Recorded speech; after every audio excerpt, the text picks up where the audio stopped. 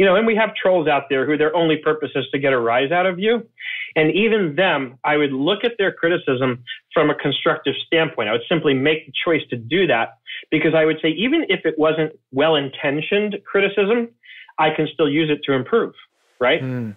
Just because they were trying to be deliberately mean doesn't mean I can't take it to heart and say, what can I do to make my content even better? And when I started learning to adopt that perspective on things, the criticism no longer bothered me. In fact, I welcomed it. I prefer the negative comments over the positive ones on a certain level because, again, the negative comments are the ones that really do help me improve. The positive ones just reinforce that people already love what I'm doing.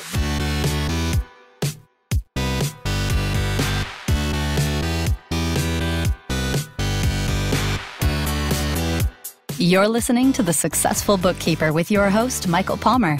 Listen each week as inspiring guests share their secrets of success to help you increase your confidence, work smarter, and build a business you love. This episode of The Successful Bookkeeper is brought to you by PureBookkeeping.com, the proven system to grow your bookkeeping business.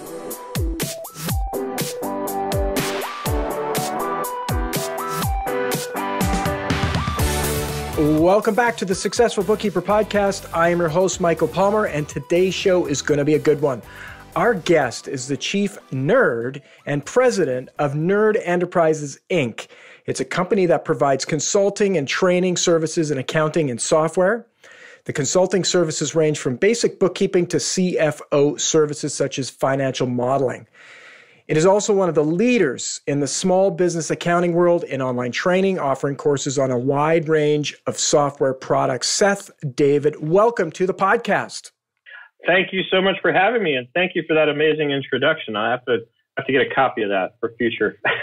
Just we'll give it to you. You can use it wherever you like, and it's uh, it is really our privilege to have you here. And thank you for giving up your time. I know you're booked pretty much solid, so it's great to have you.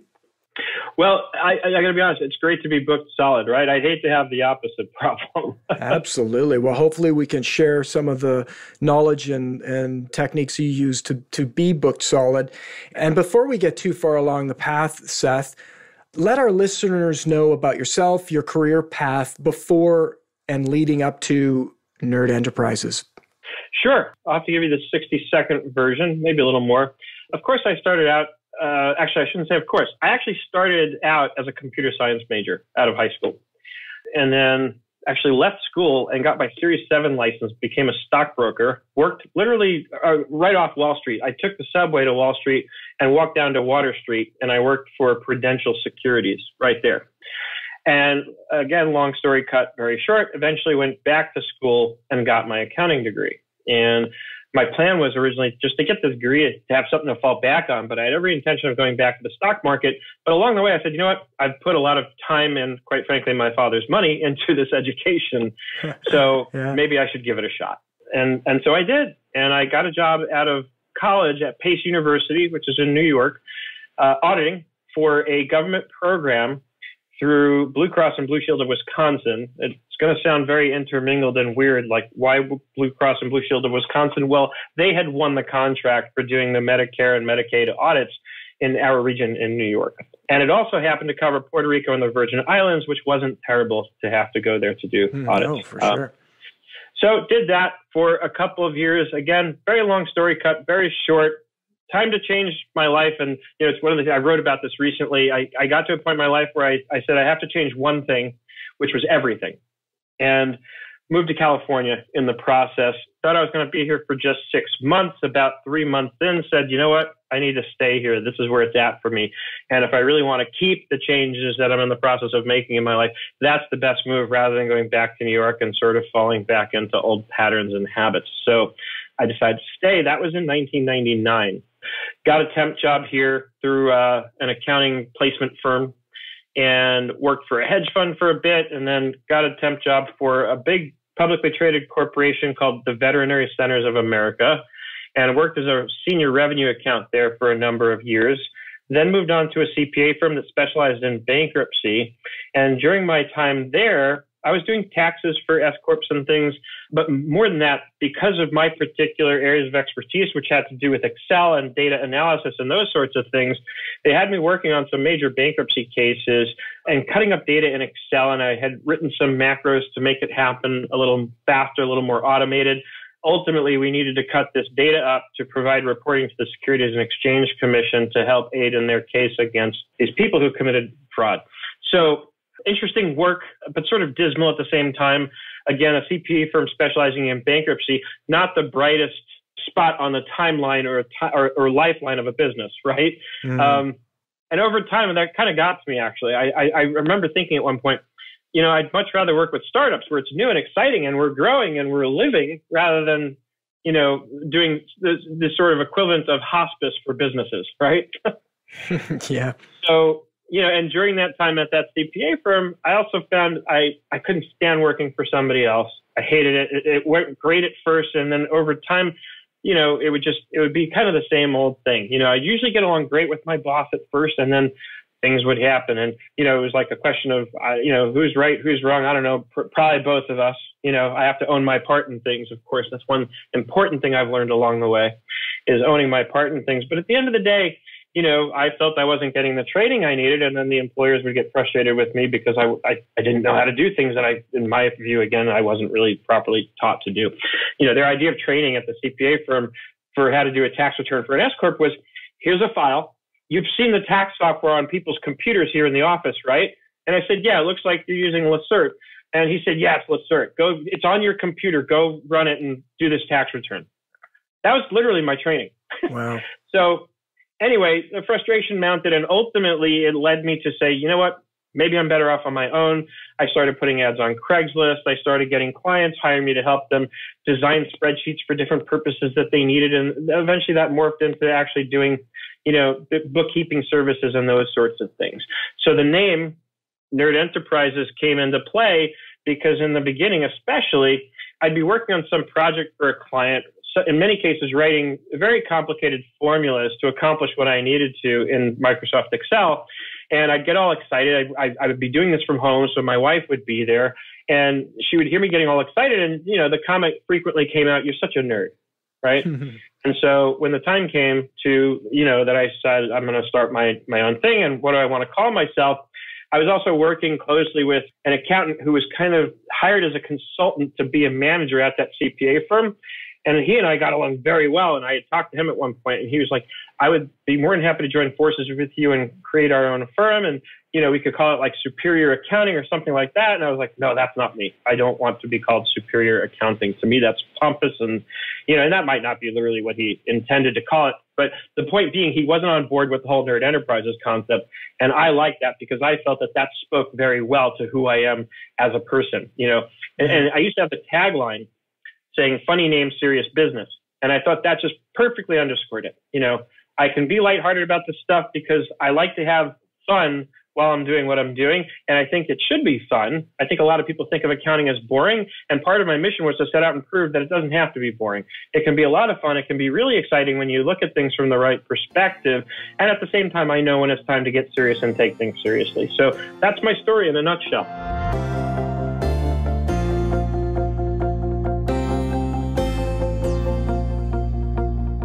That's cool. You know, there's some interesting some interesting points out of that that story, and the one that you've just mentioned is being true to what you want. Like you, you went through kind of a, a transformative, I guess, period in your life, and I, I guess it was late was it late '90s where you're like, okay, I'm moving away from all of this. I'm going to California. Isn't that a a line from a Led Zeppelin song. Uh, sure is. right? So going to California, uh, with flowers in your hair and you you got there and you said i'm staying here and and you stayed true to that and then you said look this working for somebody else isn't working for me you left and you you stayed true to that and then even along the name it's like no nerd enterprises this is me and and so it's like staying true to what your intuition is telling you and what what's moving you. I think that's really cool part of it. And the other piece there is you you're having fun. you know, really show that's one of the reasons I I I came across you. I mean, I I bumped into you online searching around, and I was watching one of your shows, and I thought, wow, how cool! You're having fun, and it really came across that you were having fun in your business while helping people and giving people information and, and making a difference for people. But it's your business and you're actually having fun in your business. I think that's a big takeaway that mm-hmm. often people get to the point where it's no longer fun and then it just becomes a job that you're you're working and even if you're working for yourself it's now you're working and doing something that's no longer fun and and uh, I think that's an inspirational thing to think about for our listeners bring some fun bring what's yep. true to you and and let that be the course that you take seems to be working for you you know i always say to people and this is going to sound a little harsh and it's sort of meant to if you're not absolutely having a blast getting up and doing what you're doing every day then it's time to go do something else mm. i don't think that's Plain too harsh simple. I was I was looking for I was expecting something super harsh. That's like, yeah, we don't we only have so many years to live our lives and so if you're not happy, there's so many other options. But that's I think what where people get stuck is that when you're doing the things that you always do and you do them every day, and I've been in this situation in my life where I was in a job that I I didn't like, and I I really found myself thinking, "Gee, well, this is it. Like, what will what will it be?" outside of that. And I was relatively young at the time, and and yet I was fortunate enough that I had people in my life go, "What are you talking about? Like there's like a very big world," and yeah, it just it was just because I kept doing it and that fear of well, what's what's out there? I don't even know what I want really. I just know I'm not happy here, but moving from that to just taking a risk and saying, okay, well, let's break this all apart and go see what happens was the best thing I ever did. Mm-hmm. Mm-hmm.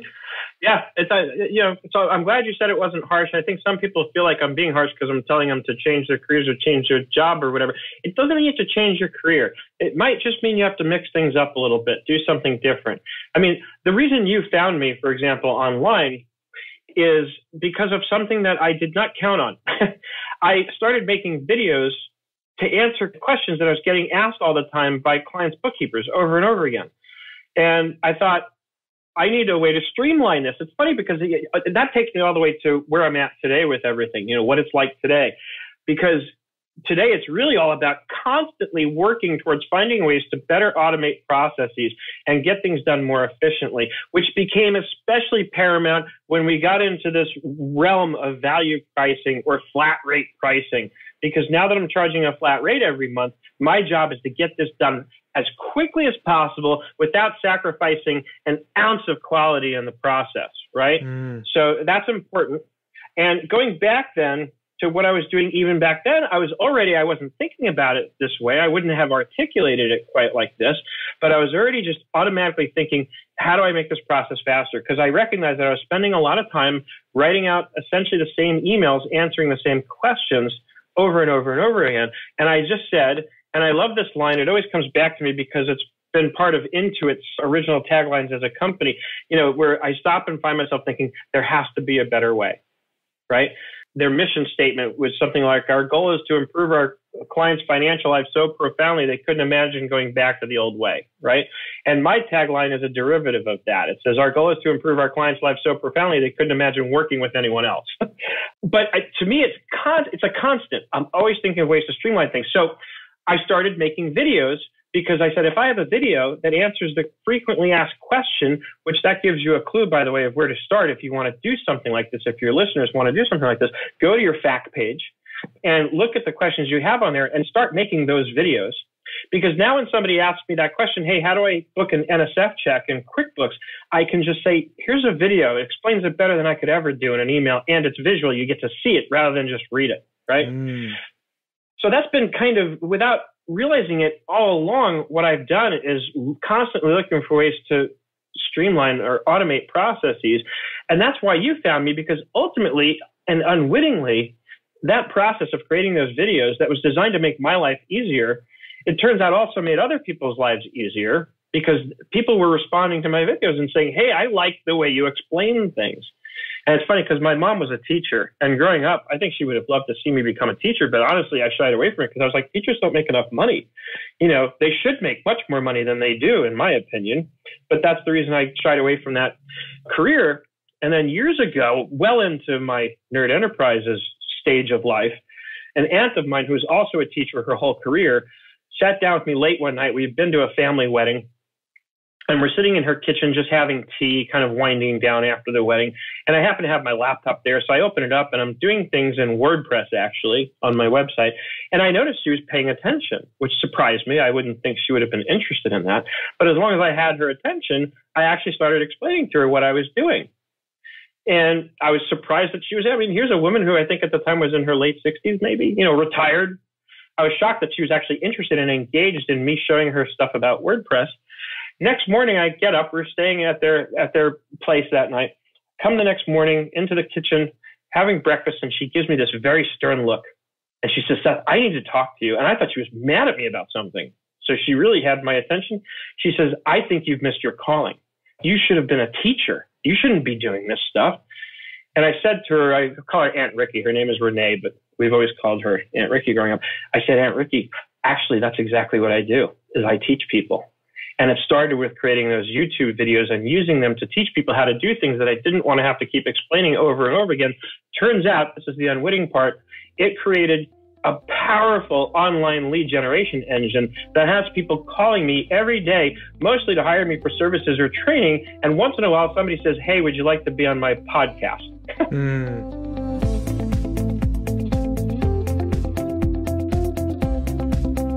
Beautiful story. I absolutely love that.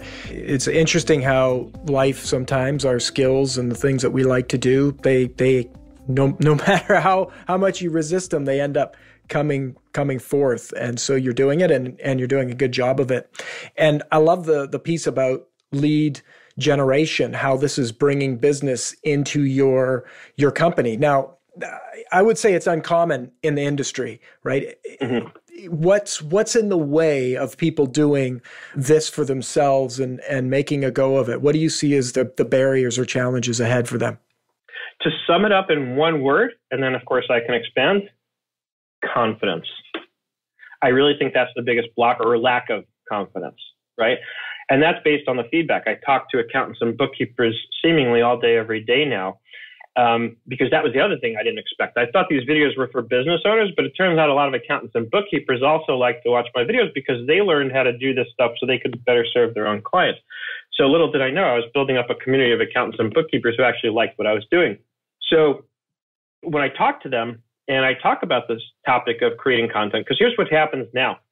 I get the call or the email or the form filled out on my website and they say, Hey, I would love to learn more about how to do what you're doing. You know, I want to be able to do what you've done, right?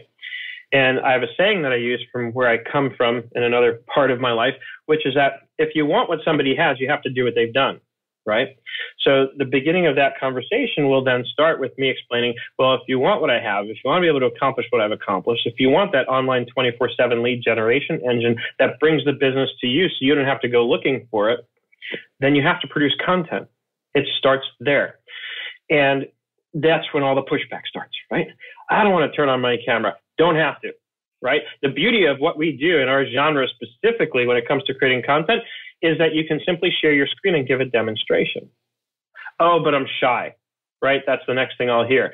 And the, the best answer I have, again, maybe it will sound harsh, maybe it won't, but the best answer I have is get over that and just make your first video or record your first podcast and once you start doing them, you'll get more comfortable with them. And then your confidence level increases. And take a risk, put the stuff out there on YouTube, let people criticize because they will, but use that criticize to your advantage. Use that criticism rather to your advantage. I used to get so offended when people would criticize, you know, and we have trolls out there who their only purpose is to get a rise out of you. And even them, I would look at their criticism from a constructive standpoint. I would simply make the choice to do that because I would say, even if it wasn't well intentioned criticism, I can still use it to improve. Right? Mm. Just because they were trying to be deliberately mean doesn't mean I can't take it to heart and say, what can I do to make my content even better? And when I started learning to adopt that perspective on things, the criticism no longer bothered me. In fact, I welcomed it. I prefer the negative comments over the positive ones on a certain level because again, the negative comments are the ones that really do help me improve. The positive ones just reinforce that people already love what I'm doing. Get it? Hmm. You know, Not only so, that, but trolls are really easy to get a rise out of. You can easily flip the script on them. Sorry, I didn't mean to cut you off. no, no, I was uh, I was going to ask actually ask about the trolls. Uh, it's just so interesting that the name. I mean, the name. It, it, I haven't heard the word troll in a while, and uh, it's like yeah, I often don't read comments on websites because I just don't want to read troll troll stuff, right? Uh, and right. it just seems to be so many times it's the majority. And for those that don't know what a troll is, it's one of these people that just say negative things and and really are not that constructive typically. I mean, there are some people who maybe are constructive, and we wouldn't call them trolls if they were their point was was accurate. But it, it, I like the way you're you you've handled it, and I think that's for anybody that's going to go online.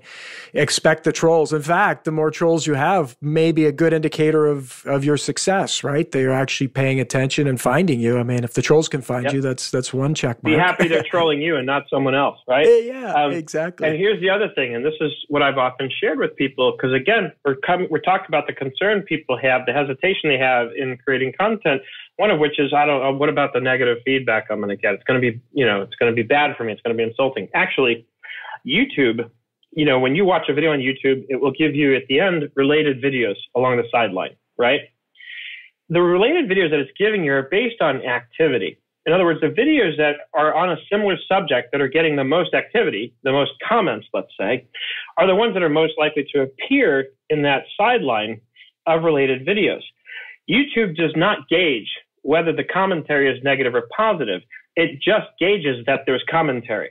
Mm-hmm. And it hmm. assumes, okay, that commentary means there's activity, which means this video is already getting attention. So let's promote that video to see if we can get it to get even more attention because the heart pumps blood to itself first. And that's YouTube's way of keeping the traffic in their world, right? Mm. So with that said, I have a great story that I can share of something I did recently with just such a troll. And eventually, in our dialogue, he even admitted straight out, like, come on, you know, react. I'm trying to get a rise out of you because I wouldn't give it to him. And what happened was, because I understand what I just described about YouTube, and like I said a few minutes ago, it's actually very easy to turn the tables on trolls because they tend themselves to be emotional. The kind of stuff they're doing is the kind of stuff that would easily get a rise out of them which is why they get even more frustrated, by the way, when you don't react to it. So this guy had come onto one of my videos. I, I wish I had made a note of which one it was because I would love to be able to find it and share this. But anyway, he comes onto one of my videos and calls me a fat F word in the oh, video. Oh Writes it out. Again, I'm clearly trying to get a rise out of me. By this time, I knew what he was doing. So I wrote a very simple short response. The best responses are just the short little like two or three word responses. So I wrote back, tell me how you really feel.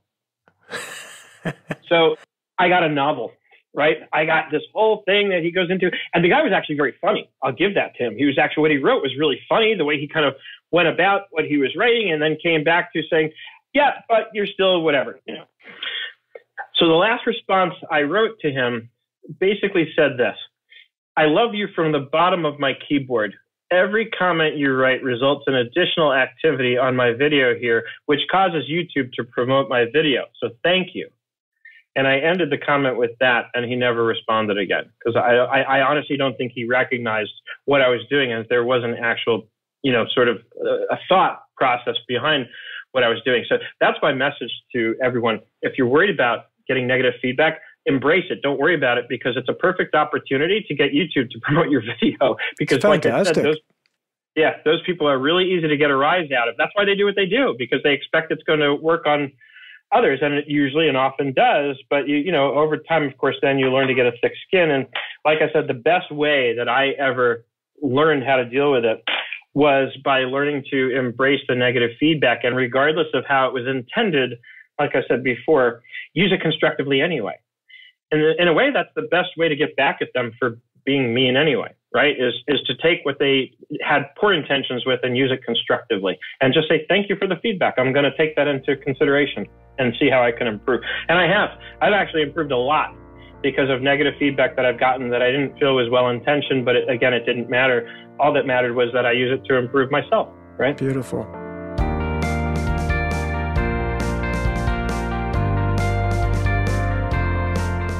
You know, I, I love that, and it's. Uh, I think it's encouraging, and for the listener is get out there and and have a go. And you know what? If there's if there's things that you like and people that you like, if you're watching Nerd Enterprises, comment. I mean, this is helping helping Please. to promote. you know, I didn't actually know that that was part of the deal, but it, you know, that little comments just to even say, "Hey, I really like this." That that is improving, and it you know counteracts the trolls out there, which listen, th- a lot of what you do is is completely free, and you know I think it's up to our audiences to to know that and to to make sure you acknowledge and you know uh, pay it forward, if you will.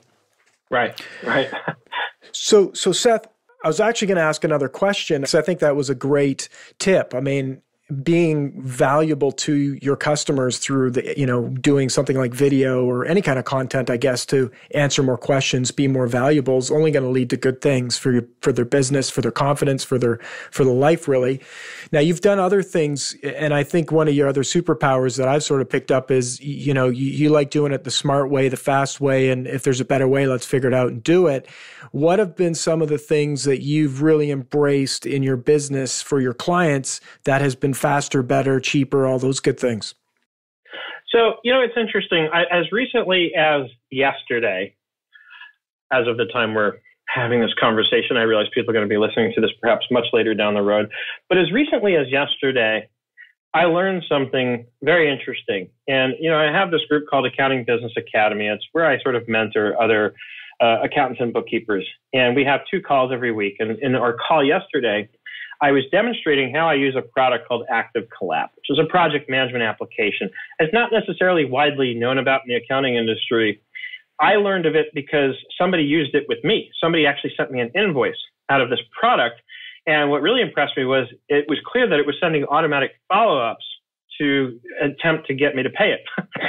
and I was like, wow, that's cool that's an automated process that would make my life easier if I could have something that would automatically send out reminders so I don't have to go in and click and look at my aging and all that. It does it does my collections work for me.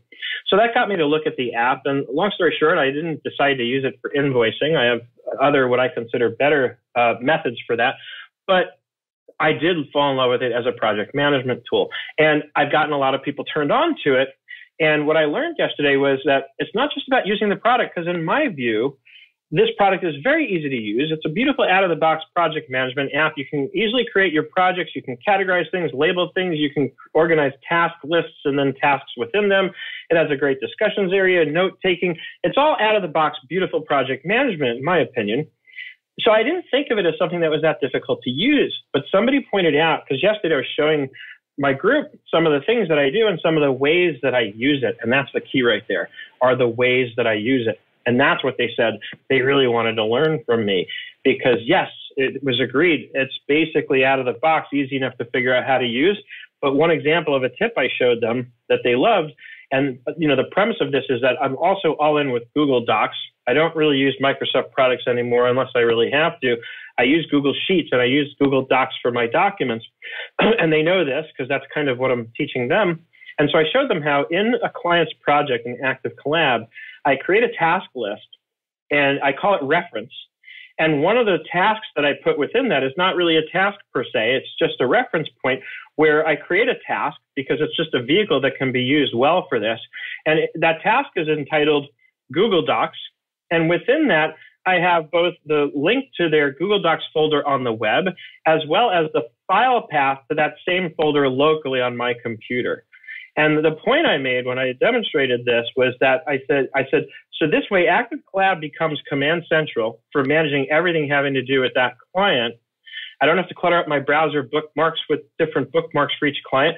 I just know that when it's time to work on that client's stuff, I go to their project in Active Collab, and in that reference uh, that reference task list, I have everything I need so that in a click I can get to where I need to.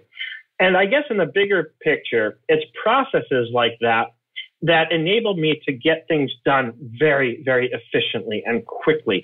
So again, because I'm charging flat monthly fees, that's become really important. That if you want to look at it in terms of an effective hourly rate, my effective hourly rate, if I actually took the time and I don't, I don't track time anymore, that's another big burden I've taken off my own shoulders and that of my employees. We don't track time because there's no need to. Um, but if I were to track time, I know that my effective hourly rate based on the flat monthly fees that I'm charging will have gone through the roof compared to what I used to charge when I did charge by the hour. Excellent. That's exciting. You know, and what was the this particular app that you were were talking about? Can you say it again and we'll we'll have a link to it in the show notes? Sure, it's Active Collab, like active collaboration. Beautiful. And now it sounds like there's lots of lots of things that you're sharing like this example of new technology not only what it is, but how you're using it. Uh, tell us a little bit more about Nerd Enterprises, some of the things that our listener could go over there and and uh, and get some value from. Sure. So I want to say something actually before I dive into that about because when you go to my website, and of course it's at nerdenterprises.com.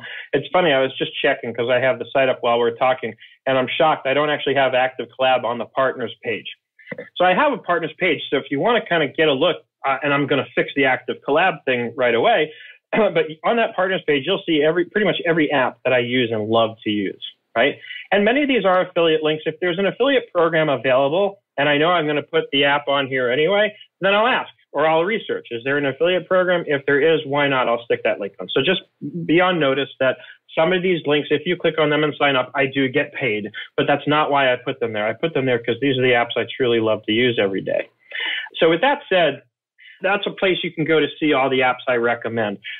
Also, in terms of the services that we offer, much of this has evolved and it's evolved based on what people have asked me for, right? Whether directly or sort of by default. And what I mean is, and, and I want to draw on something I learned a long time ago. I was reading this book. It was called Multiple Streams of Income.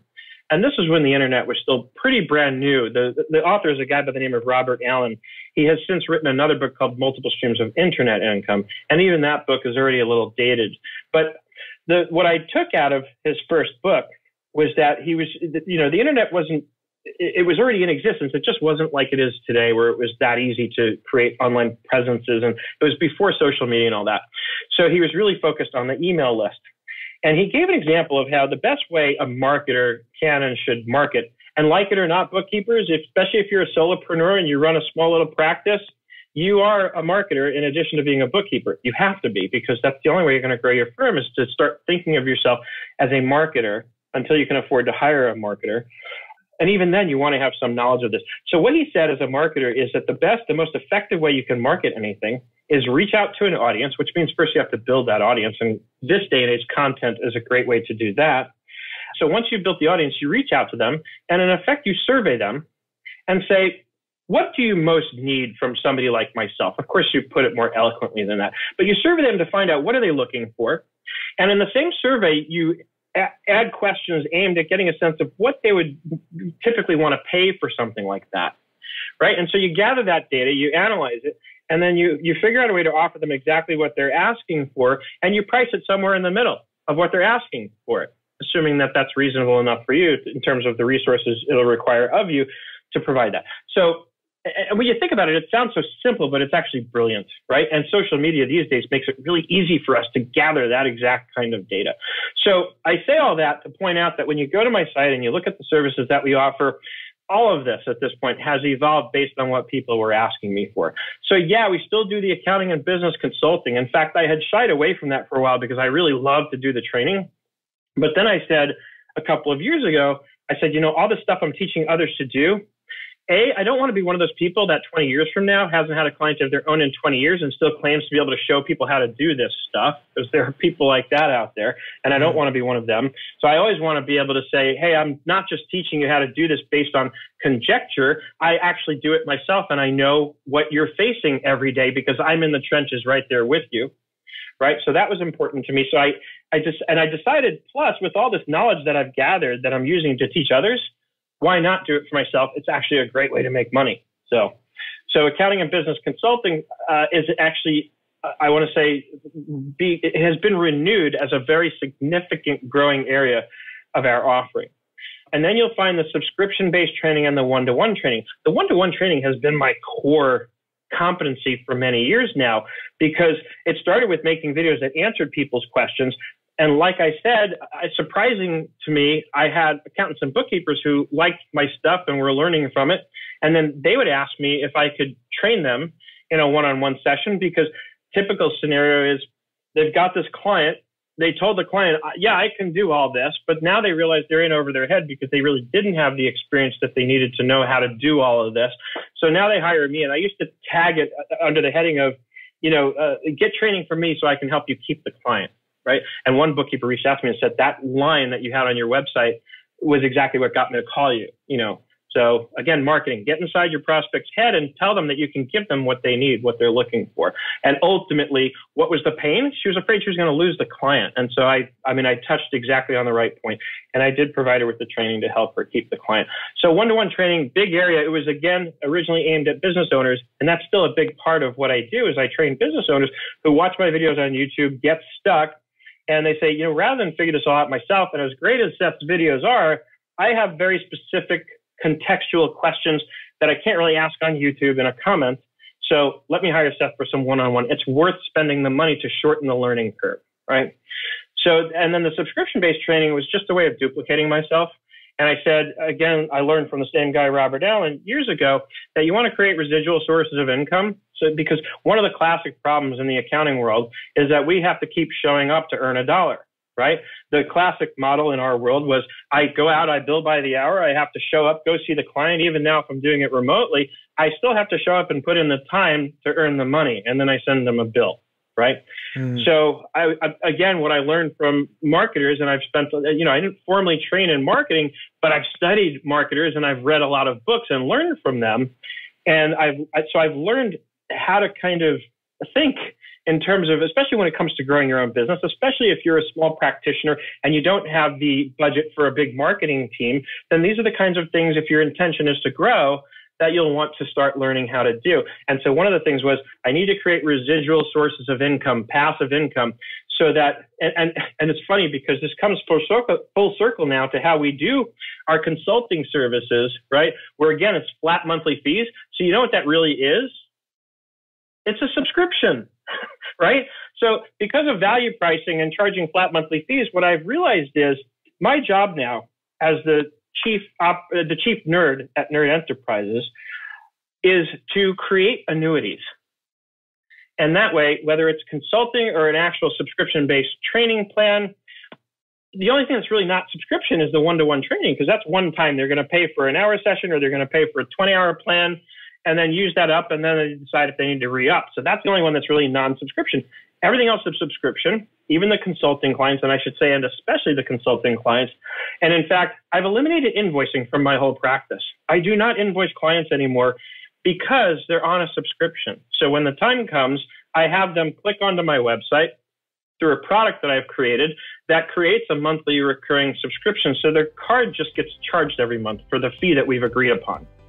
I don't need to invoice them. Invoicing in itself is a clunky, slow process. I hated it, and I was I'm so glad I've eliminated it from my life. Good for you.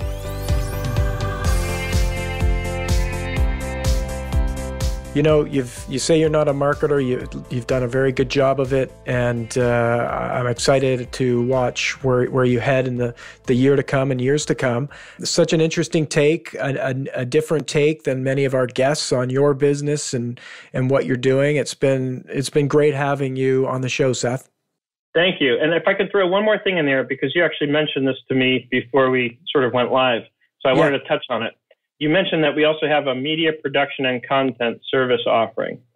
This is a very specific example of me creating a project based on what I was being asked for. It was never my intention to work with app developers, but app developers started reaching out to me again because of what I've created on YouTube and saying, we would like to leverage your capabilities with respect to creating content and videos, and we'd like to have you do it on our products. And so that's where that whole media production and content service offering on my website came from. And, and so that's what I do. I don't have a lot of clients in this venue. I don't necessarily want a lot of clients in this venue because to do this kind of stuff, it uses up a lot of my own resources that quite frankly, I'd rather use to produce content for my own company. But if they're willing to pay what I'm asking for, I'm willing to do that. And by the way, real quick, I'll end on this note. That's where I sort of depart from the philosophy behind value pricing as I understand it, because I don't necessarily price based on what I think the value is to the client. I don't necessarily care about that. And I'm very outspoken about this. And I love Ron Baker and Ed Kless, who I view as the sort of godfathers of value pricing. Um, but my approach towards pricing departs from theirs in this part specifically, where I don't price based on value. I price based on supply and demand. And more than that, I price based on what gets me excited to do the work. So when I come up with my pricing, it's a little bit, I think it's easier actually to come up with my pricing on that basis because I can, I can decide what I'm offering in a plan and I can look at what I'm going to offer and, and think in terms of what it's going to take to get all that done each month. If we're talking about bookkeeping services and I can put a price tag on that and then step back and ask myself, when I think about a client coming in and paying me this amount every month and knowing what it's going to take to get the job done, does this get me excited? Do I feel excited because I know I can get in here and streamline this and get it done really efficiently without sacrificing quality? If the answer is yes, then I'm good with the price. If the answer is no, then I probably need to raise the price up a little bit. And I have a process where we start with what your goal is in terms of what you want to make dollar one gross every year. And from there, we back into what your pricing plans can be. So and there's a blog post out there about that on my website. So anyway, I wanted to make sure I mentioned the whole media production thing because you had asked about that specifically. Yeah, absolutely. Thank you, Seth. And we'll have all those links in the show notes. But uh, you know what? We'll love to have you back when you're up to new things, and and uh, I'm sure I sure it won't be that long into the future. Excellent. I would love to come back. Thank you so much for having me. It's been an honor. It's been great having you. Well, that wraps another episode of the Successful Bookkeeper podcast, and what an interesting podcast episode it was. To learn more about today's guest and to get access to all sorts of valuable free business building resources, you can go to thesuccessfulbookkeeper.com. Until next time, goodbye.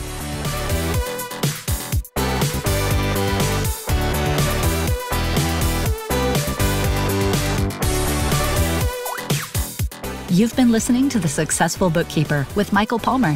For more information and to download the resources mentioned in this episode, please visit us at thesuccessfulbookkeeper.com. Thank you for listening.